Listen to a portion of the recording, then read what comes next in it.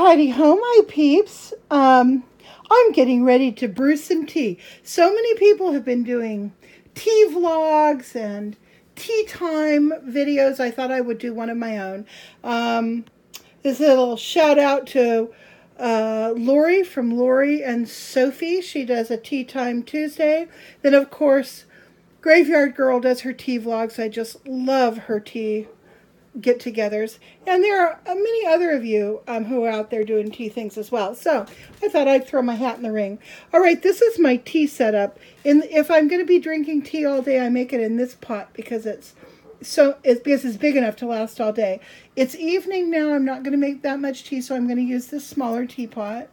Um, I like to use my little china cup. This silicone thing is to keep uh, keep things from crawling into it or falling into it and keep it warmer.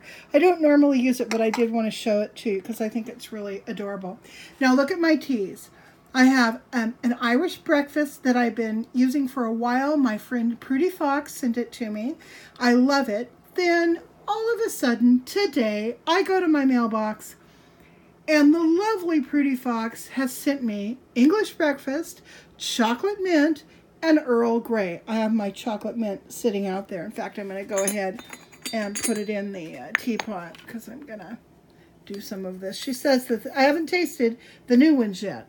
So I thought I'd start with the chocolate mint because it sounds sort of desserty and it is almost seven, so I'm feeling like something desserty.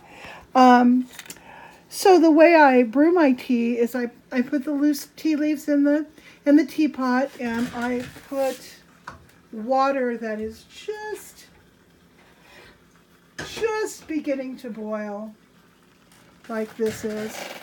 That goes in. And let that steep for, I don't know, a little while. Between three and five minutes probably. And yeah, that's about full. Now, what I will usually do is I put about um, a tablespoon of honey in just right in the teapot while it's steeping, and that's the, you know, that would be the sweetening for the entire pot would be about a tablespoon.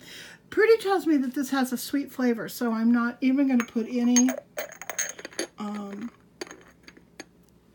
any sort of sweetener in it. What I am going to do, though, come over here. Look, hopefully, see? Gosh dang those ants. I put some cayenne pepper there to see if it would keep them away, but they are intrepid. They are finding ways to get into my, get onto my counter. It's been about, oh, I don't know, three or four days since we've had um, um, rain.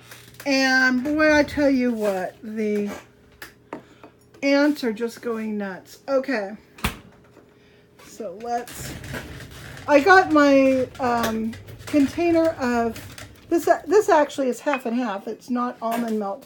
And what I'll do, I'll put about, oh, I don't know, maybe four tablespoons of half and half in this uh, little creamer in the morning. And then I will use that half and half throughout the day.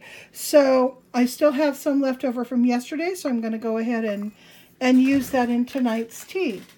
So anyhow, this is this is my setup. Often, um, this is my strainer, and obviously I I'll do like that, then I'll pour my tea into the strainer. But often when I'm having tea during the day, I will have little snackies. So I will have some orange, or I'll have some sliced apple, or carrot and celery sticks, or sliced cucumber, generally. If I've made um, uh, buckwheat cake or little muffins or something, sometimes I'll have um, one of those. And I use this little tray to put my little snacky things on. So, there's my tea setup. I just wanted to share this with you guys. Okay, everybody, um, I hope you're having a wonderful day or evening. Um, and I am going to have some tea. Bye.